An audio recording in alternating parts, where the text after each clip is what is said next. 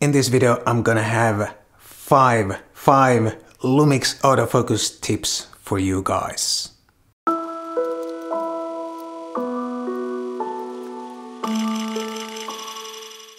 Hi guys, my name is Matti Sulanto. I'm a photographer and a Lumix ambassador from Helsinki, Finland. And in this video, I'm gonna have five autofocus, Lumix autofocus tips for you guys. And some of these tips may be familiar to you already, but at least it happens to me all the time that I kind of forget some of the features and functions that my Lumix cameras have. And then, of course, I forget to use those features and functions. And I suspect the same thing happens to you. You know the features are there, but you forget to use them. So I figured I make this video to refresh your memory um, about some of the autofocus functions and features. So let's get started and let's check out these autofocus tips that I have for you. And if you find this video useful, please buy me a cup of coffee, there's a link down below. That would be awesome and it would also help me to make more of these videos for you. And now let's get to the tip number one. Use the touch functions, especially if you are using the rear screen to compose your picture. The fastest way to move the autofocus around the screen is to touch and drag. But if you activate the touch pad AF, you can use the screen to move the autofocus point even if you use the viewfinder. You just move your finger on the screen and the autofocus point moves in the viewfinder. And this is especially handy on cameras like the G90 and other cameras that don't have the joystick. And you can access the touch functions in the custom spanner menu, just choose the operation, and then touch settings. And there you can activate the touch screen, you can activate the touch AF, and you can activate the touch pad, and you can even select the touch sensitive area of the screen in this menu. There is also something called touch tab and that's the virtual function buttons that you get on the right side of the screen. You can activate and remove them in this menu if you prefer to do so. I have them off because I don't like them on my screen.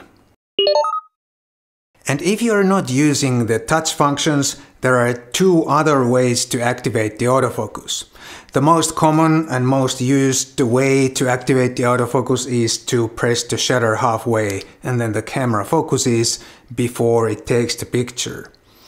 And then the other way is to use one of the uh, function buttons to activate the autofocus. The most common button to use is the back button here uh, on the rear of the camera right by the viewfinder. It says AFAE lock except for the S-series cameras it says AF on. And I have a whole video on the back button focusing, the benefits of it.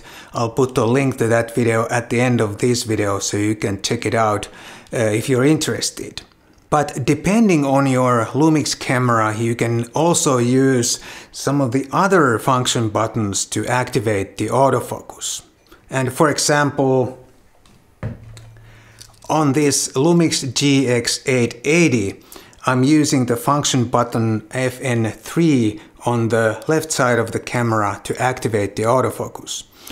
And that is because I usually use the camera like this a little bit lower here, but I'm holding it like this because I'm shooting um, at waist level. And my left thumb rests on this button very naturally, so it's a convenient way to activate the autofocus. And my shutter release only takes the picture because I want to separate the autofocus and the shutter release uh, from each other so I can control them separately. So it's not always necessary to have the autofocus on the right side of the camera so that you operate it with your right hand. Sometimes it works really well to operate the autofocus with your left hand, like in this case. So check out which buttons you can use on your Lumix camera to activate the autofocus because sometimes it can be very handy to be able to activate the autofocus with your left thumb, for example. Change the autofocus area to match your subject. On your Lumix camera you have several choices regarding the autofocus area. You can select single point, multiple points, or you can even create your own custom autofocus area. And you can change the size of the single autofocus point by activating the autofocus uh, area selector and then hit the down arrow on the D-pad and then you can use the front and rear dials to change the size of the autofocus point. And if your subject is relatively small in the frame, select a very small single autofocus point to make sure you nail the focus and you focus exactly on your subject, your main subject.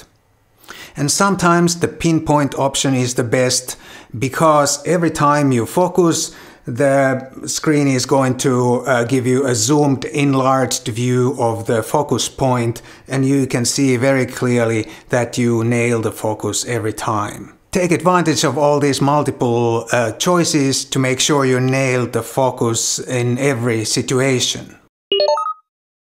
Use the face and eye detection if you are taking pictures of people. It's very reliable and it lets you fully concentrate on your model and on the situation so that you can get the best possible picture without having to worry about the focusing at all. And I use it all the time when I take pictures of people. When you go close enough, it focuses, the camera focuses on the eye of the model and if you're a little bit further away, it focuses on the face of the model. And you can activate the face and eye detection by first activating the focus area focus point selector and then go all the way to the left and there it says face and eye detection. Activate that every time you take pictures of people. And on the G9 and the S-series full-frame cameras, you also have the animal detection option. And use that if you take pictures of animals. Sometimes you may want to use manual focus, but it's good to remember that you still have the autofocus option even if you are on manual focus. If you have one of the buttons programmed to activate the, the autofocus, you can press that button and the camera will autofocus even if you are on manual focus mode. That's very handy if you, for whatever reason, need to refocus very quickly on manual focus mode. It's good to remember that you always have the autofocus function uh, also available even if you are on manual focus mode. And generally it's not a very good idea to first focus using the center focus point and then recompose after focusing and take the picture. It's a much better idea to first compose, then move the uh, focus point on your main subject, then focus and take the picture. You'll get much better and uh, mu much more constant results uh, using the latter method. I hope you find at least some of these tips useful. And here are a couple of other videos that you may also find useful. Please check them out. Thank you so much and I'll see you again in the next one.